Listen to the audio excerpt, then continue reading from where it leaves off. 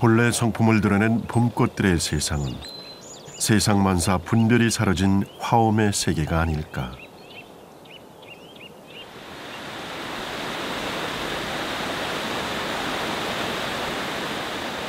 물소리, 바람소리, 그 모습 그대로가 법신.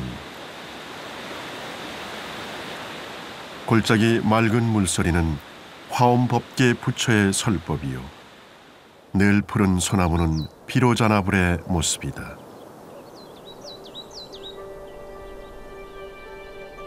산은 산, 물은 물. 스스로 진리가 되는 대자연 속에서 청정심과 평상심을 잃지 않는 곳. 그곳에 중생을 향해 열려 있는 연화장 세계가 있다.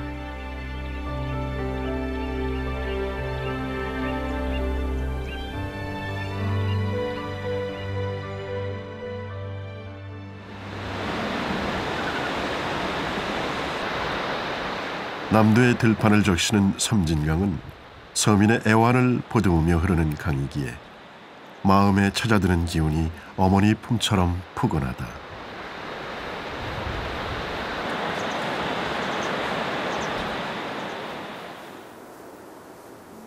섬진강이 어머니의 강이라면 지리산은 어머니의 산이다.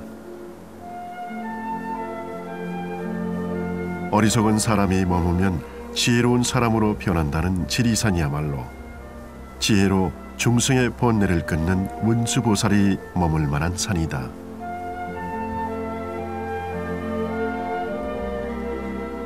지리산 노고단 봉우리가 손에 잡힐 것 같은 곳에 연기함이 있다.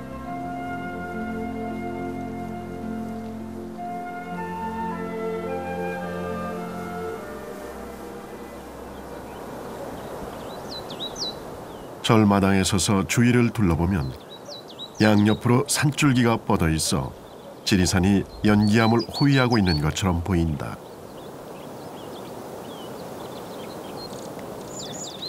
연기암은 백제 성왕 때 인도에서 온 연기 스님이 창궐한 남자로 화엄 법문을 처음 편 도량이다. 지리산에서 문수보살을 친견한 연기 스님은 문수보살을 원불로 삼아 널리 화엄 일승 지도를 펼쳤고 이후 삼천 제자가 그 가르침을 이어나감으로써 지리산은 화엄화가 만리한 연화장 세계가 됐다.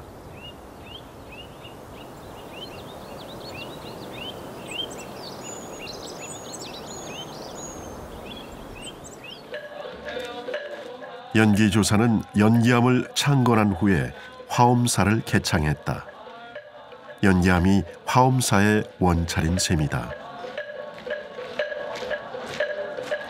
1500년 화엄성지 화엄사는 동호층 석탑과 현존하는 최대 목적 건물인 각황전을 비롯해 60여 점의 국보와 보물을 간직한 선종 대 본산이다.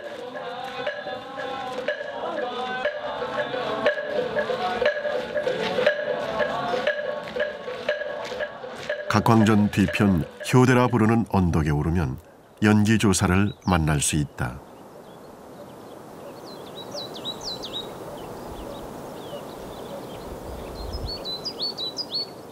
석등을 머리에 이고 앉아 있는 스님상은 찻잔을 들어 공양하는 연기조사의 모습이며 탑신을 떠받치고 있는 네 마리의 사자 상탑 중앙에 연꽃을 든 석상은 연기조사의 어머니를 형상화한 것이라고 한다.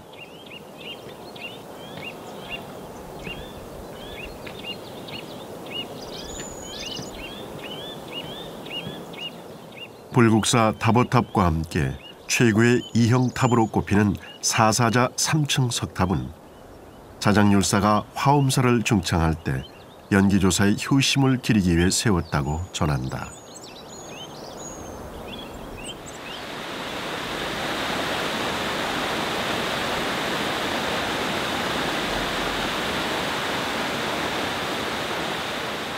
조선 중기 문인 유몽이는 인간 세상의 영리를 마다하고 영영 떠나 돌아오지 않으려 한다면 오직 지리산만이 편히 은거할 만한 곳이라고 했다.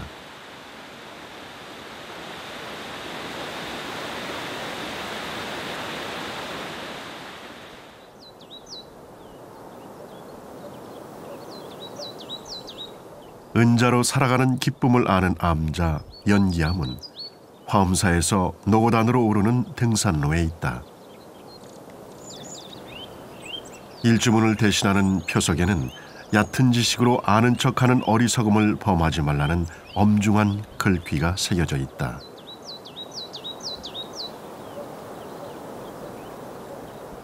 경내 중심부에 들어서면 13m에 달하는 문수 보살상을 만나게 된다. 2008년 만해 스님이 국내 최대 문수 보살상을 조성한 덕분에 연기암은 명실상부한 문수보살 기도 성지가 됐다. 문수보살은 부처님 열반 후 인도에서 태어나 반야의 도리를 선양한 보살로 반야경을 결집 편찬한 것으로 알려져 있다. 그 사실을 안다면 문수보살의 오른손에 경전이 들린 이유를 10분 이해하게 될 것이다. 다란이 집경의 문수의 몸은 모두 백색으로 머리 뒤에 빛이 있다고 하는데 연기암 문수 보살상이 바로 그러하다.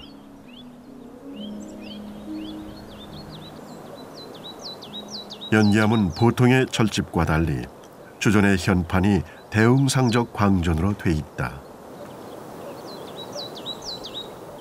연기조사가 창건할 당시에 요사차인 해외당과 주전인 대웅상적 광전만을 지었다고 한다.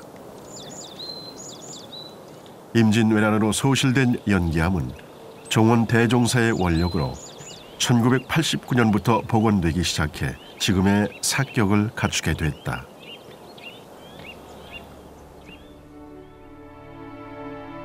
연기조사가 처음 화엄 사상을 펼친 화엄 성지답게 대웅상적 광전은 비로자나불이 주불로 모셔져 있고 왼쪽에는 화신인 석가모니불이 오른쪽에는 보신인 노사나불이 봉안됐다.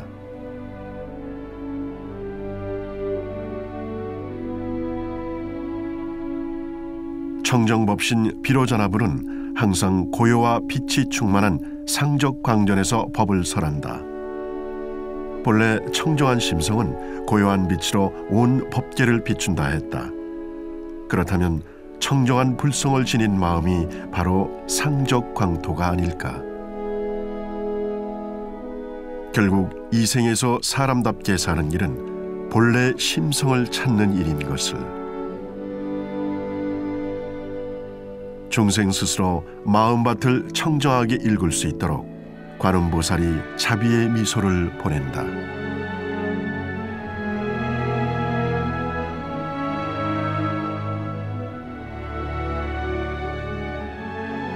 모든 사물은 홀로 있거나 일어나지 않고 끝없는 시간과 공간 속에서 서로의 원인이 되며 대리별 초월에 하나로 융합하고 있는 무진 연기의 법칙을 화엄 중심 도량에서 되새긴다.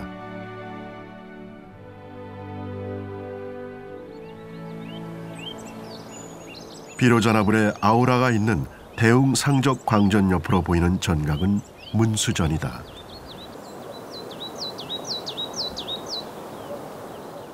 전체적으로 나뭇결이 살아있어 고즈넉함이 느껴진다.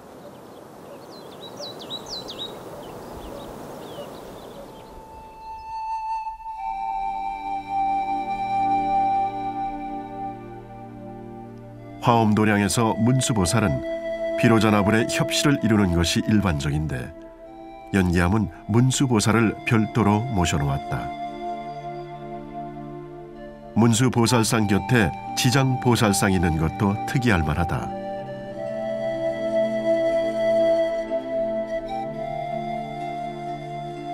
지옥문을 깨뜨리는 육환장을 들고 육도의 중생을 구제하는 지장보살.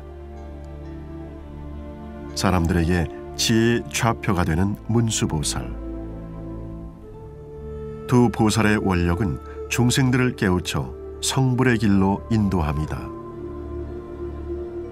원력이 같은 보살들이기에 정해놓은 법칙에 매이지 않고 서로 상통하는 것이리라.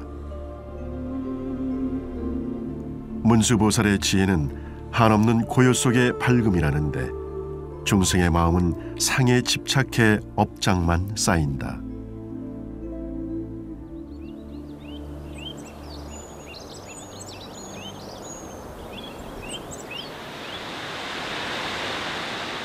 연기암은 다른 암자에 비해 규모가 있는 편이다.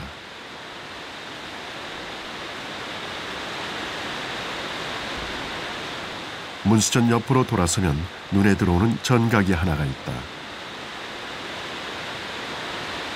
묵원 수행하며 산중 고독을 즐기기 맞춤인 곳에 들어선 관음전이다. 관음보살의 가르침을 구하는 선제동자의 마음으로 법당 안으로 들어선다.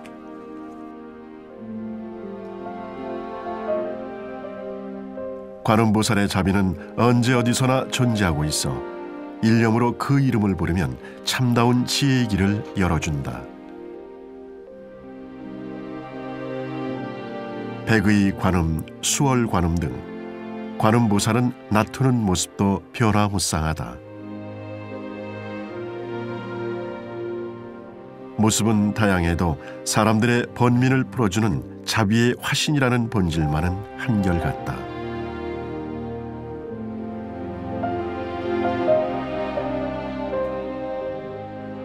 자비와 보시, 관용과 용서를 베풀 수 있는 사람이 되기를 소원하고 법당문을 닫았다.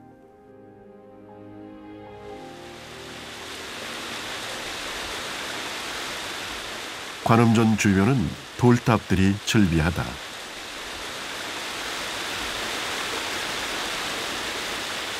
둥글고 모나게 쌓은 돌탑을 보며 탑을 쌓은 이들의 심상을 그려본다. 마음이 전하는 불심을 손끝에 담아 탑을 쌓았으리라. 돌탑을 쌓을 때의 마음은 분명 순수했으나 산문을 나서면 부지불식간에 불심은 사라지고 번뇌가 풍랑처럼 일었을 터. 그런들 어떠한가. 불심이 탑이 되는 순간이 연화장 세계임을 안다면 그것으로 족하다.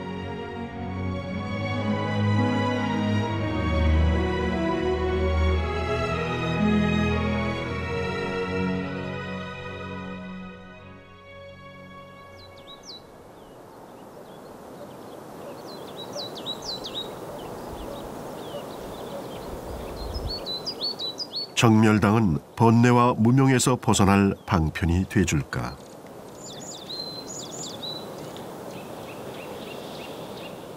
세상사 모든 시름을 잠시 접어두고 안으로 들어섰다.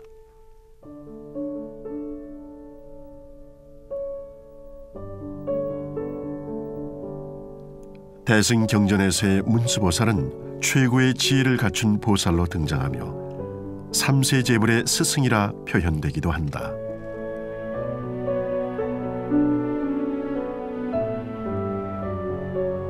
정멸당 문수보살은 연기암 중심부에 조성된 국내 최대 문수보살상과 모습이 같다. 정멸당 안팎으로 보완된 문수보살이 있기에 도량 전체에서 반야지혜의 아우라가 느껴진다.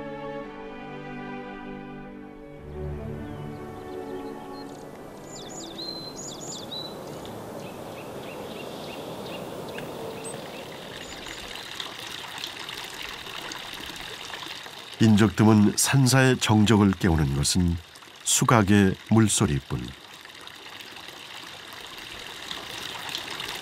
연기조사는 인도에서 건너올 때 수십 그루의 차나무와 씨앗을 가져와 지리산 일대에 심었다고 전한다. 불보살에게 차를 공양한 후에는 깨끗한 맑은 물 감노수로 변해 삼번님께 받잡노니 구보 살펴주옵소서 하고 연불 독경을 한 후 차를 마셨다고 한다. 찻잔에 담긴 것은 무엇이었을까? 화엄법계 무진 법문과 자비 광명이 가득했으리라.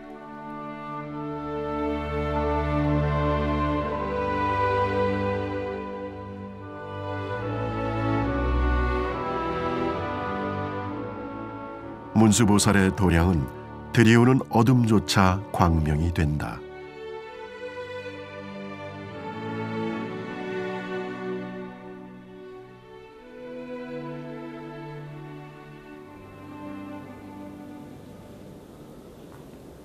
연기조사가 지리산에 처음 다 산매에 들었을 때 문수 대성께서 일만보살 대중에게 설법하는 모습을 보았고 이 산이 문수보살이 항상 설법하는 땅임을 확신하게 됐다고 한다.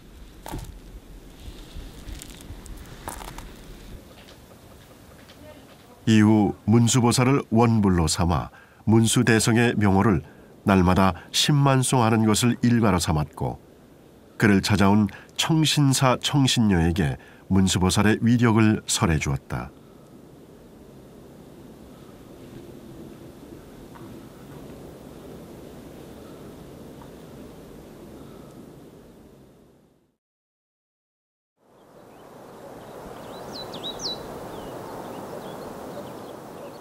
천오백 년전 연기조사의 설법은 지금도 여전하다. 마음의 본체가 어두우면 밝은 낮에도 어둠 속에 머무는 것이요. 마음이 밝으면 어두운 방에서도 창공을 볼 수 있다. 어리석은 사람은 무거운 짐이 실린 마차에 짐을 더 얹어 쓰러지게 만들지만 지혜로운 사람은 다 놓아버릴 뿐이다.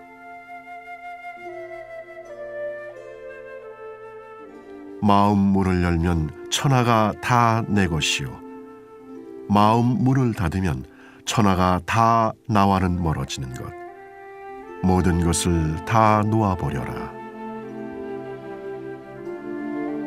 그대가 이 세상에 올 때 빈 마음으로 왔으면 갈 때도 빈 마음으로 떠나면 본전인 것을 무엇을 그렇게 채우려만 하는가? 돈과 명예, 부귀는 있다가 없어지면 허망과 고통만 안겨줄 뿐. 괴로움과 고통에서 벗어나 영원히 무너지지 않는 불법은 왜 모르고 사는가?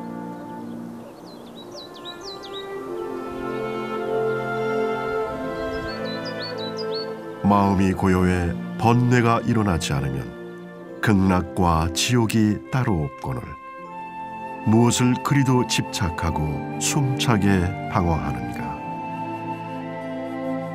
지금 자신을 보라 갈 곳 몰라는 그 마음만 놓아버리면 행복은 바로 그곳에 있다.